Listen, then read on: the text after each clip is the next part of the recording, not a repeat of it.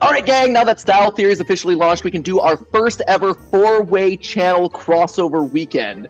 Uh, we haven't done one of these in a while, so uh, pitch me thoughts. Oh, Matthew, quit hijacking my calls. Uh, this is important creative decision making, Jason. Thank you very much. Uh, Mario movie. That's a thing that's doing really well. How about how about that? We did that already last week. Mm, uh, new Pepsi logo. We did that one too. Seriously, do you even read your emails? We could always do FNAF. No. No. Okay, hear me out. Cannibalism week. We already did that one too. We did it twice. Okay, but hear me out again. A third time. I mean, I don't hate it, but what do you do for style at that point? Ooh, uh, Leatherface. The skin. Yeah, it's too dark. Monetization gods will frown upon it. Fine. What what about just meat? Meat? Like meat week? Meat week! As a vegetarian, I object to all of this. Meat week!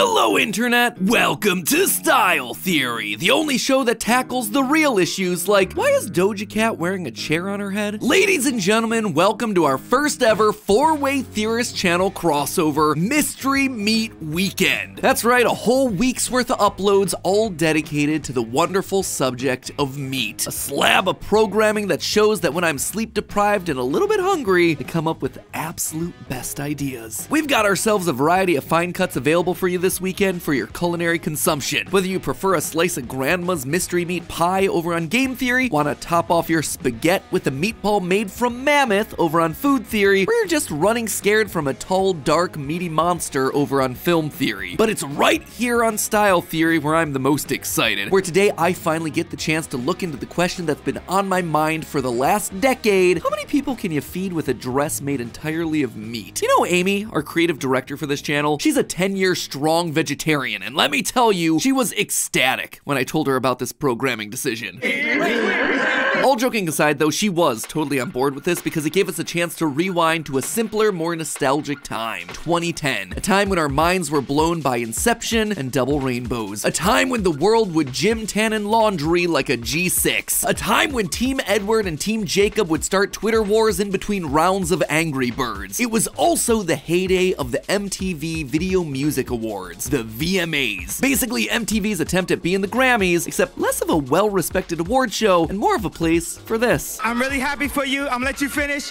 But Beyonce had one of the best videos of all time. Basically, it was the go to spotlight for anyone who wanted to push boundaries to the extreme, sometimes for the better and sometimes for the worse. And when it came to boundary pushing, no one did it better than the mother monster herself, Lady Gaga. Of course, she had her performances that ranged from cubist nun to let me literally bleed out for my craft on the stage, but even more press worthy was her fashion at these things. Look at these runway looks. There was the year that she was genetically fused with a crow, the year that she was a fancy peacock, the year that she was dressed like your science fair project about the planets, and the year that she went to space in a fishbowl. But buried amongst those bird and nerd looks was one that stood out among the rest. One that would go down in history as the most audacious, over the top, out of the box article of clothing ever conceived. I'm talking about the year that she merged with a cow. Huh, feeling really hungry all of a sudden. Anyone else up for barbecue? This thing made best dressed lists, worst dressed lists, news headlines, but more than anything else, it made people go, why? To which I say, why not? It's your LBD and your LDB all in one. That's a little black dress and late dinner buffet, in case you aren't hip on the latest style lingo. So today, as part of Mystery Meat Weekend, I have to know 13 years later, could you actually eat this thing? And if so, how many mouths could you feed? Would this thing be a delicious dinner or a dining disaster? Tuck in those napkins, friendos, because it's time to eat. So before I get into the math of it all, let's go back to talk about the motive, the whole why meat question that I just alluded to, because this wasn't just clickbait to generate headlines. This was meat with a message, just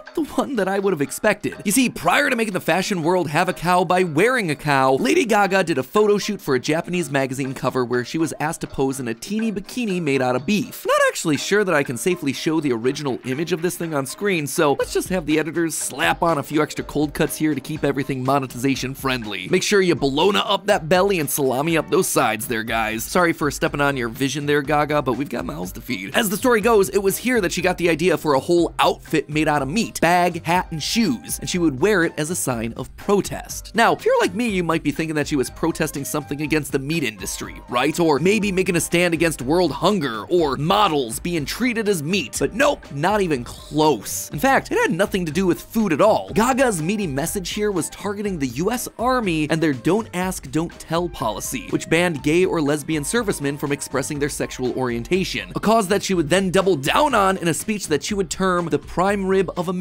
speech. Yep, you heard me right. The prime rib of America. What does what does this even mean? Equality is the prime rib of what we stand for as a nation. Don't get me wrong here, I appreciate the idea behind this thing, but the metaphor is uh, pretty darn rough. Or I suppose I should say the meat of four. Boom, nailed it. Now before I send out my VMA after party invites, I'm gonna need to know just how many calories I'm cooking up. And just like a good recipe, fashion needs ingredients. It needs materials. In this case, that material is gonna be beef, but what kind of beef are we talking about here? According to Gaga, it was made of prime rib and plain steak, but that might not actually be true. Designer Franc Fernandez went on record to say that the meat used was a cut named matambre, and if that doesn't sound familiar, that's probably because it's not, at least not here in the US. Matambre, which is literally translated to hunger killer, is a very thin cut of beef most commonly found in Argentina, Uruguay, and parts of Paraguay, which makes sense given that Fernandez himself is Argentinian. He even stated that he went to his personal butcher in LA to source the meat from this dress. That said, depending on how familiar the butcher was with matambre, most butchers here in America don't know how to cut it, and what you end up with is more akin to flank steak, which is what many articles at the time reported the dress to be. The main difference between the two is the specific cut of muscle used, where matambre uses what's called the fly swatting muscle from the ribs, while flank steak is the abdominal muscle. I love that this is just literally a food theory episode, by the way. I've learned more about steak in the last two hours of researching for this episode than I have in the last two years of uploading onto food theory. Note to self, more steak related content on the actual food channel. Anyway, since most recipes call out the fact that flank steak can be used as a substitute for matambre, I think we're gonna be fine using flank steak as our base for all the calculations that we're about to make. So now that we know the cut of meat, it's time to see how much meat we're talking about here. According to the US Department of Agriculture, which, uh, did anyone have talking about the Department of Agriculture on their style theory bingo card? Cause let me tell ya, I didn't. CDC, sure. FDA, definitely. But the USDA? These channels, man, they never cease to surprise me. Anyway, according to the USDA, raw flank steak contains 165 calories per 100 grams or 0.2 pounds of beef. Fernandez stated in his interview that he bought, quote, more than 50 pounds of meat to make the dress. So to be fair, only 40 pounds or 18,000 grams of it ended up being actually used for the look. Now, it's unclear if this total is taken into account all the accessories, but for the ease of our calculations, we're just gonna assume so. Just know that an extra bite or two could be floating around on her head or hanging out on her feet. So at 165 calories per 100 grams, this outfit weighs in at the whopping 30,000 calories. 29,937.1 if we're being exact. Since the average adult eats around 2,000 calories a day, that means that with this one fit, you could feed just shy of 15 people for one day or one person for 15 days. But what if we're just looking for an epic one-of-a-kind dinner party? If the VMAs wanted to serve an elite section of 2010 celebs some gaga tartar at their after party, how many people could they put on their guest list? Food and Wine magazine states that the proper serving amount for a tartar dinner, which is raw meat mixed with egg and capers, in case you were curious, is about 226.8 grams or half a pound. That means that, drumroll please,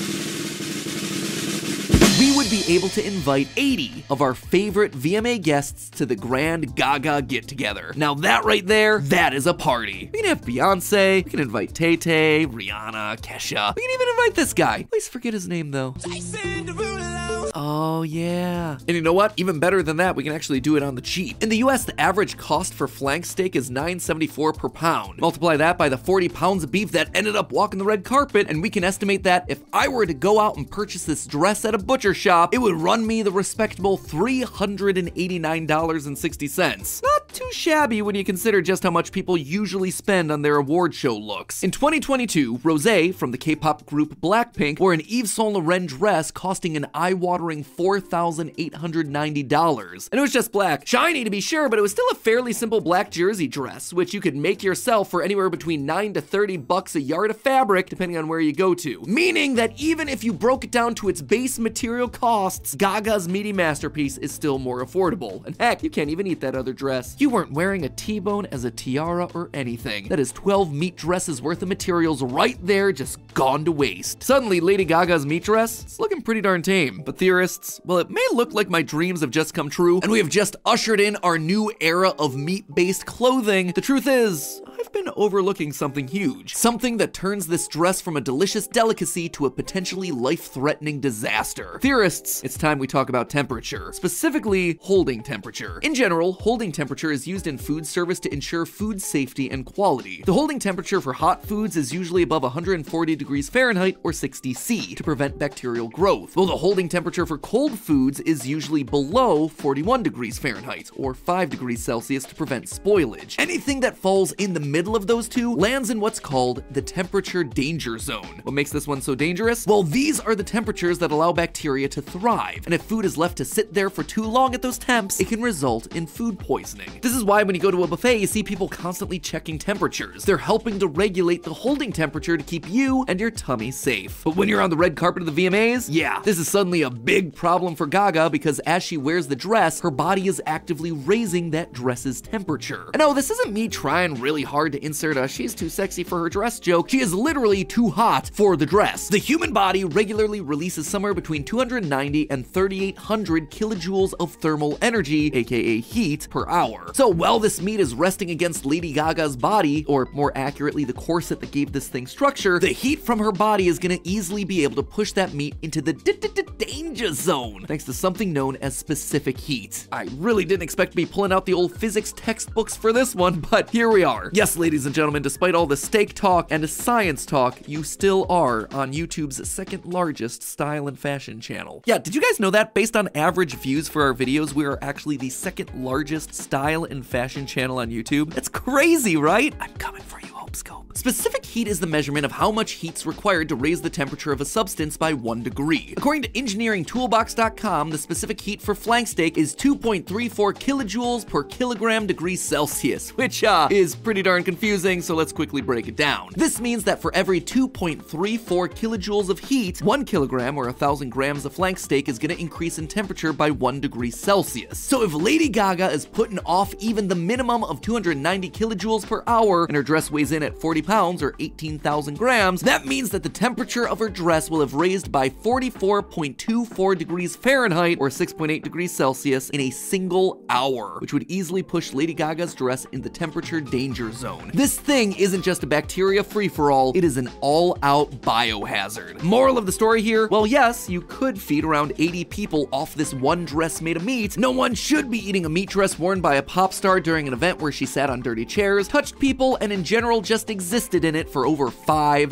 hours. If you're into edible clothing, please look somewhere else. Maybe we'll cover it in a future episode, I don't know. Anyway, in the end, the dress didn't wind up going to waste. In order to preserve this moment for out-of-the-box fashion fans and little monsters alike, the dress was taxidermied and basically turned into beef jerky so it could last forever. Or at least for longer than raw meat usually does. Its first home after being jerkified was at the Rock and Roll Hall of Fame. Then it traveled the country as part of the Women Who Rock exhibition. And now, if you ever happen to be in Las Vegas, you can pop on over to the Park MGM Resort to see it at the House of Gaga exhibit, just like our creative director Amy did while researching for this episode. I mean, look at this thing. It's like a giant Slim Jim in a glass case. I don't even want to think about what it probably smells like. Probably like that time I accidentally left a Big Mac in my car for a week. Wonder if I still have that thing. Could probably turn it into a pair of nice shoes for next year's Streamy Awards. But hey, that's just a theory. A food, uh, sorry, a style theory. Keep looking sharp. And don't forget, friendos, this is Mystery Meat Weekend. All weekend long, we're uploading delicious meat-themed episodes across all the channels. Food theory, game theory, and film theory. You should go check them all out, and once you're done, comment that you've officially become a king or queen of the meats. Make all of Amy's meat-related trauma from doing all this research worth it. I recommend another First Lady of Fashion, Grandma Ursula's fit over on Game Theory. As always, my friends, don't forget to subscribe, and I'll see you next week.